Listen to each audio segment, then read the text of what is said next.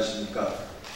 어, 경기도 광주시 갑주시 국회의원 소정호입니다. 어, 후견관 지어진 대로 이 자리에는 처음 왔습니다. 정말 너무 전에 정동관하고 비교해서 어, 너무 많이 변했다. 그리고 너무 좋은 모습이다라는 생각을 했습니다. 그동안 1층에 라면 먹으러 들고 왔었는데 정말 참 좋습니다.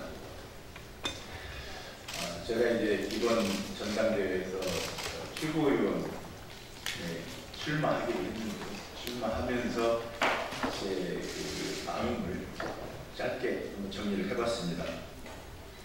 네, 존경하는 당원 동지 여러분 그리고 사랑하는 국민 여러분 경기 광주시 갑 출신 국회의원 소병훈입니다. 저는 오늘 더불어민주당 8.25 전당대회 최고위원에 출마합니다. 176석의 민주당은 오직 국민을 위해서만 존재해야 한다는 확고한 신념을 가지고 이 자리에 섰습니다. 지금 민주당의 역할은 코로나19를 극복하고 인생을 최우선으로 하는 정당의 면모를 갖추어서 서민과 중산층의 나라를 만들기 위한 문재인 정부의 성공적인 마무리를 지금 하는 것이 저희 더불어민주당의 역할이라고 생각합니다.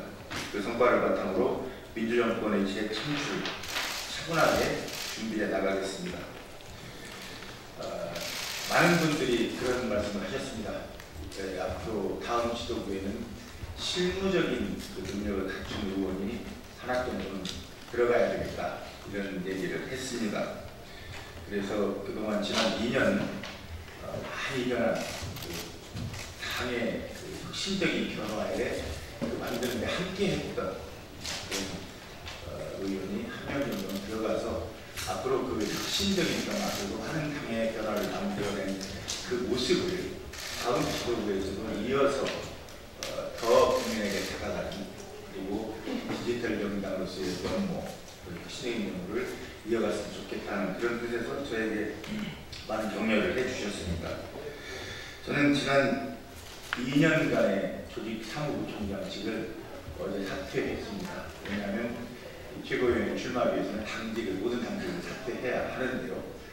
지난 20대부터 4년 동안 저는 전반기 2년은 어, 당 정책위원으로서 상임 부의장으로서 어, 당정청의 그 관계 그리고 당정청의 소통, 당정청의 업무 조율 부분에 참여하면서 어, 제 역할을 다 해왔습니다. 그리고 후반기에는 당의 조직사무부총장을 맡았습니다.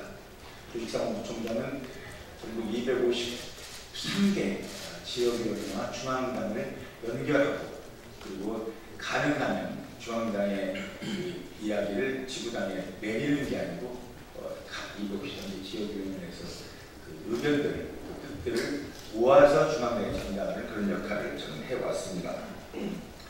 특히 어, 이번 20대 총선을 준비하면서는 어, 1년 전에 총선을 결정해야 된다는 그런 그 우리 당 지도부의 뜻에 따라서 어, 2019년 초반에 총선 제도 기획단을 출범했습니다. 총선 제도 기획단의 중요한 임무는 1년 전에 공천 룰을 결정하는 것이었는데요.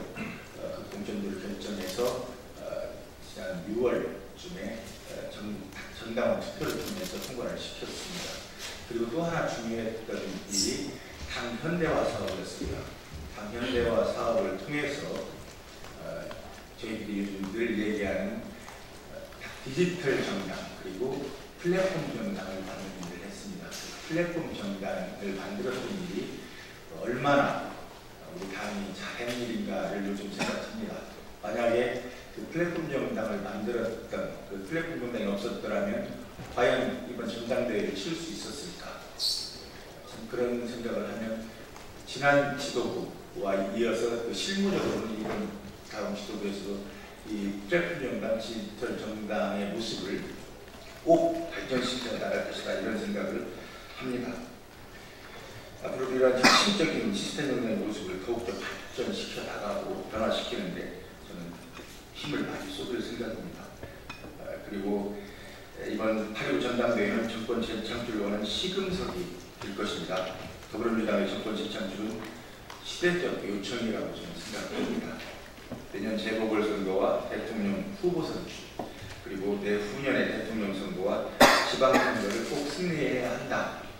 이런 어, 생각에서 이 모든 선거를 안정적으로 치러 나가야 될그 임무가 지도부 타- 차기 지도부에 있는데 그 임무 중에서 가장 실무적으로 처리해야 될 임무를 제가 맡겠다고 나선 겁니다.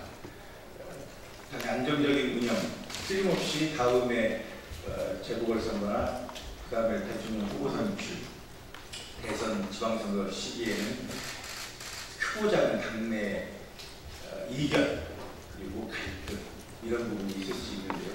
그걸 지난 4년 동안 당의 일을 하면서 제가 경험했던 그런 밖으로 드러나지 않았던 일 이런 일까지도 참고하면서 당이 가장 안정적으로 어, 다음 선거를 준비하고 국민들로부터 사랑받는 그런 정당을 일에 저는 최선을 다할 생각입니다. 누구보다도 열심히 흔들림 없이 당원과 국민만을 바라보면서 달려가겠습니다. 어, 자세한 내용은 저희가 그린 그 문건에 들어 있습니다. 어, 저는 제가 좀 생각 가진 대로 짧게 여러분께 말씀드리고 이걸 마치도록 하겠습니다. 여러분 고맙습니다.